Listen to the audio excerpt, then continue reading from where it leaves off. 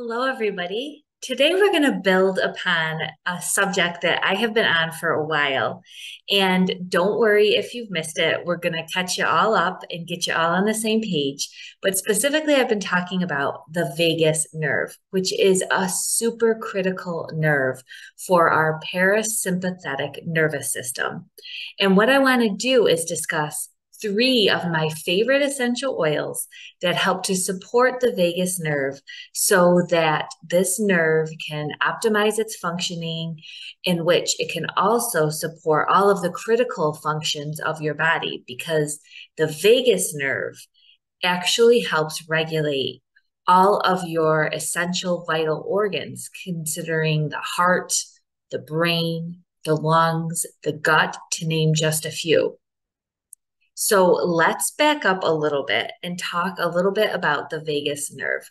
As I mentioned, it is very, very, very essential for our overall functioning. It is a master regulator of the autonomic nervous system, the, specifically the parasympathetic nervous system, which is a part of this nervous system. There's three branches from this nervous system the autonomic nervous system, which controls our subconscious processes. And one of them is the parasympathetic nervous system, which is our rest and digest. Another is a sympathetic nervous system, which is our fight or flight. And then there is the enteric nervous system, which is what happens in our gut. Okay, so the vagus nerve really predominates about 75% it is in charge of of the parasympathetic nervous system. And what is interesting is the functions of the vagus nerve have actually been indicated in this innovative ther- therapy, specifically the polyvagal therapy, that actually helps somebody to recover or to get better from trauma. So, how this is done is that when the body is in a in a state of parasympathetic dominance or rest or digest, what they call the ventral vagal state, it actually is able to heal and to rest and to restore. And when you're in that state, you're also more apt to create healthy social relationships. When you create healthy social relationships, you feel more safe. And again, it perpetuates this cycle of healing, restoration, and repair. So, what's so cool is let me roll this in with essential oils that we're going to discuss today is that essential oils are known many of them are known as calming to the mind and body and that they have various ways that they can calm these subconscious processes, right? When we are stressed out and we breathe an essential oil that's calming, it can actually help to maybe moderate our breathing, right? Because we're inhaling, we're taking a deep breath. It can help slow down our heart rate if it's sped up. It can help our blood pressure. Blood pressure naturally rises when we're stressed. It can help lower. Some of these oils have been shown to help lower blood pressure. So it is an amazing tool that I think is underutilized. And the applications for essential oils, as well as the different mechanisms and how they impact our mind body, uh, is incredible, right? when we discovered how much stress has a physiological, in other words, how it impacts all of our body processes, we had discovered this huge link that if we decrease stress, we can really help raise somebody's health and bring them into the state of more optimized functioning, right? And so it isn't it isn't a small deal to say that something relieves stress and in doing so also influences our physiology. Essential oils do that because they emotionally, right? Just the sense of smell or, or, aroma alone can impact the brain, impact memory. They emotionally calm our stress response, right? They help our brain settle down. We get, they directly connect to the amygdala, which is the emotional part of our brain. Our body relaxes. It's able to move some of this fight or flight response calm it down and move us into a more rational state, right? Into the executive functioning part of the brain so that we can make these critical decisions without being under this stress attack of various stress neurotransmitters. So it, it calms all that down. And while it's doing that, there's also these chemical constituents within essential oils that actually modulate our physiology right? So they actually can impact something called heart rate variability, right? So heart rate variability is a measurement between heart rates. And this is an indirect measurement of your parasympathetic nervous system. So your parasympathetic nervous system is in charge of your heart rate. And when someone has a higher heart rate variability, there's larger fluctuations that's been said to be an optimal heart rate variability. So we can measure parasympathetic nervous system by the heart rate variability.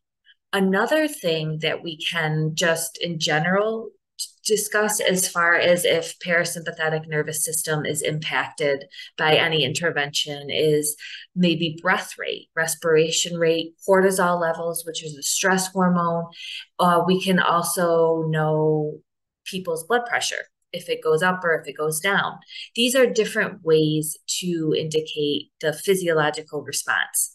So what we're going to do is we're going to go through three specific essential oils that I've used in clinical practice that have also support in current literature. Now, some of the studies we know are smaller in the natural health field than we'd like them to be. There isn't a lot of, let's say, funding, right, for natural products because you can't patent them and make a lot of money but there is some clinical evidence for these essential oils in modulating our parasympathetic nervous system. And then based on traditional use. So we have all of these three different factors that have made me chose or have i should say compelled me to choose these three main essential oils for vagus nerve support parasympathetic nerve relief relaxation and getting us out of that fight or flight state. So this will help people with stress. It'll help them if they're feeling a little bit on the anxious side, if their mood is low, if they're just their body is revved up. These essential oils would be three of the top essential oils that I would choose. And these are just single oils. There's a lot of blends I use in my practice. That's a whole other discussion. But let's look into these essential oils. Now, the first oil that I selected was lavender essential oil. Probably not a big aha moment, right? Many people, when they think of aromatherapy and they think of calming, they think of lavender oil. So, lavender oil is obviously the most well known for relaxation to calm the stress response. It's been used for sleep. It also has some properties to inhibit certain microbes and help with infections. It can be relieving to muscles and help soothe soothe muscle tension, both both voluntary muscle as well as smooth muscle. And it's been shown to help support the immune system. So, all of these different properties of essential oil, based not just on their smell, properties or their odor properties, but the chemical constituents within the lavender essential oil. Remember, essential oils have many different compounds within them. So they have many different effects. And that's why when you talk about an essential oil and you say it can help from anything from mood to sleep to infection protection, that's why. Okay. Now, there was a comprehensive review just on lavender and how it impacts the nervous system. And the overall view was that it was calming. It it actually studies were both animal studies in vitro, so that means in the petri dish, as well as human studies. And what they found is from animal studies is that lavender oil actually modulated your neurotransmitters. So different neurotransmitters, brain signals, dopamine, GABA, serotonin. Those were all impacted in these little in these little rodents' bodies, brains. Okay. Preclinical as well as clinical trials have shown that lavender actually supports sleep, it supports pain, it supports mood.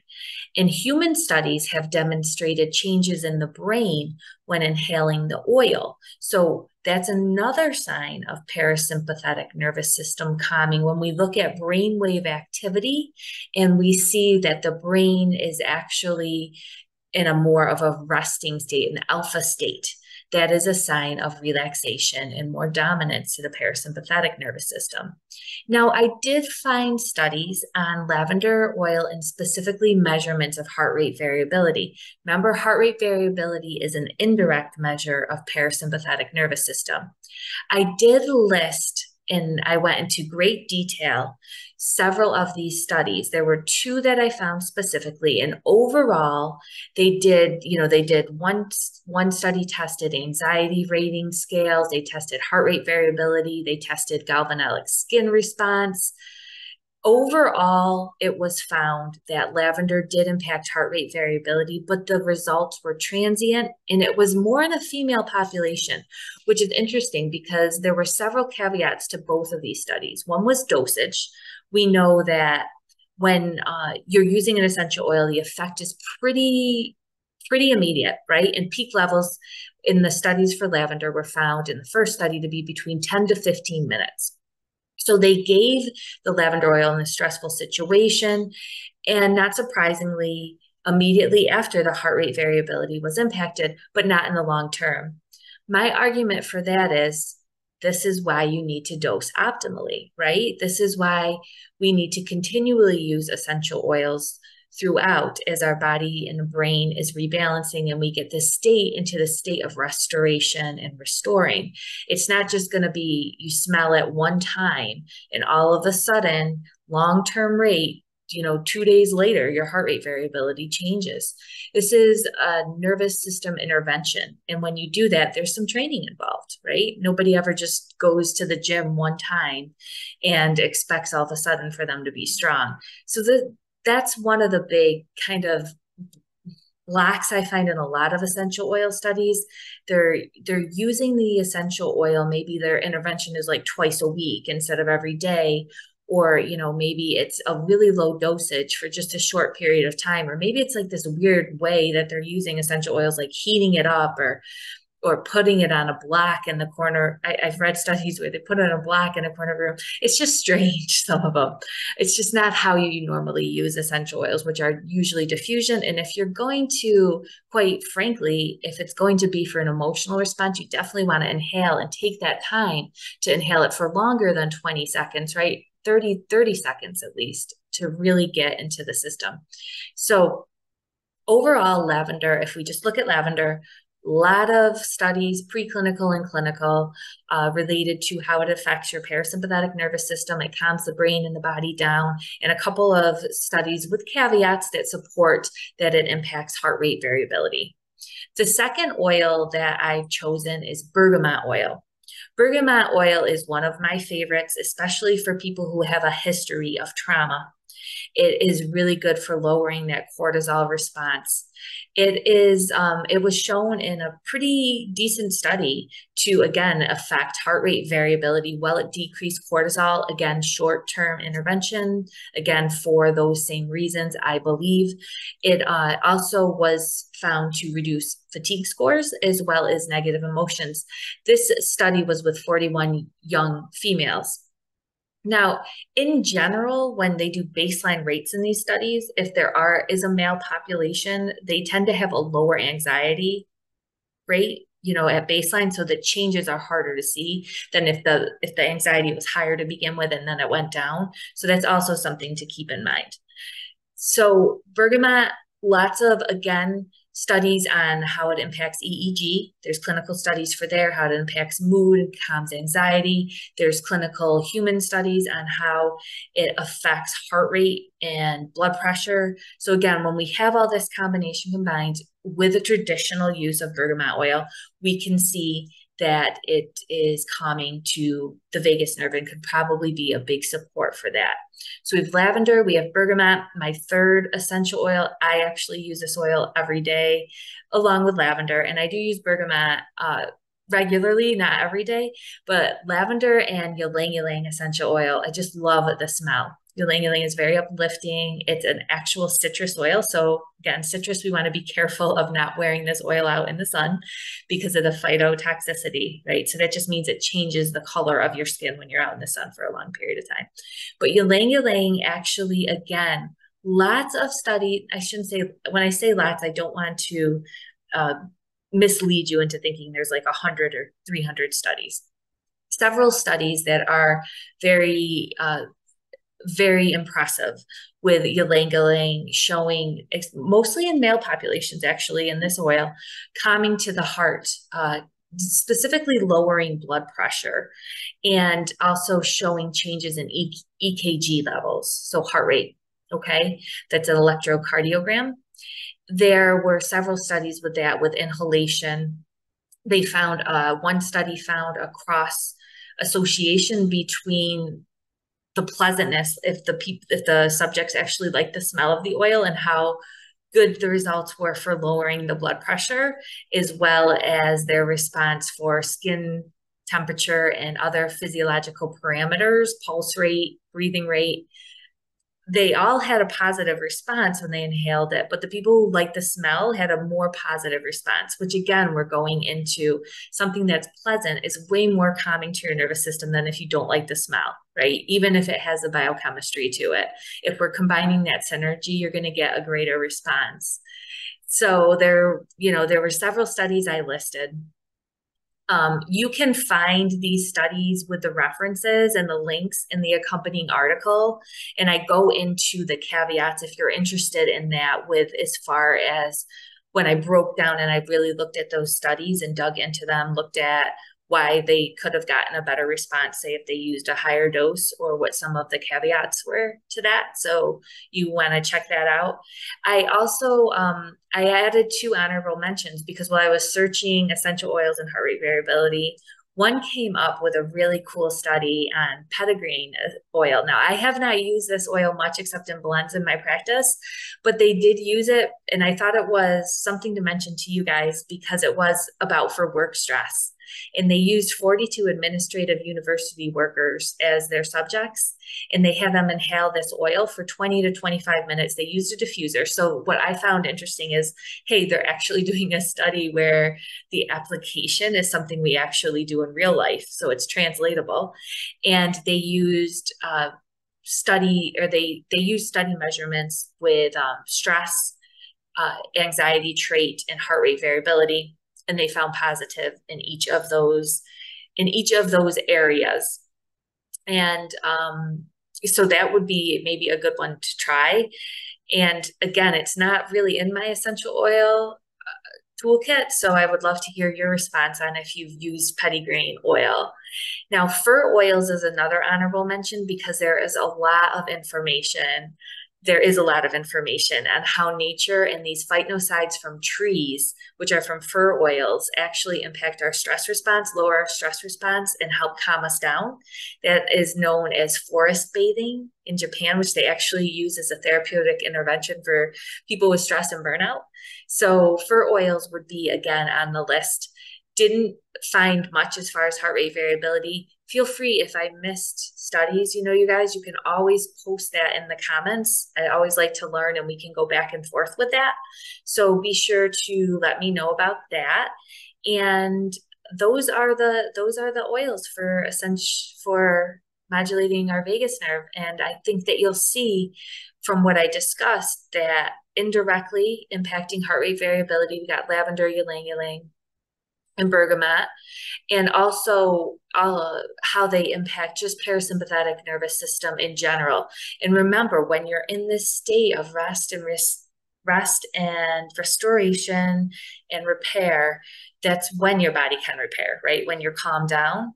And also when you will tend to feel safe to reach out to other people, which is essential for healing from trauma and feeling safe and perpetuating the cycle of rest and repair and safety and all of that. Remember, the, the impacts of isolation are very detrimental to our health.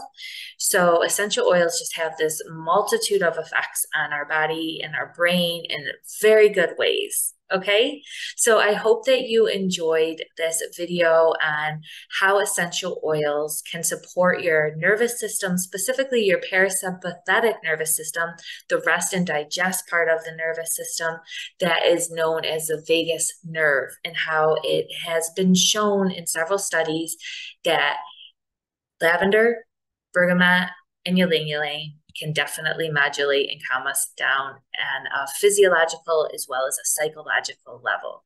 If you have any questions or comments, please put those in the video description or on the accompanying article blog, and I will be sure to go through them.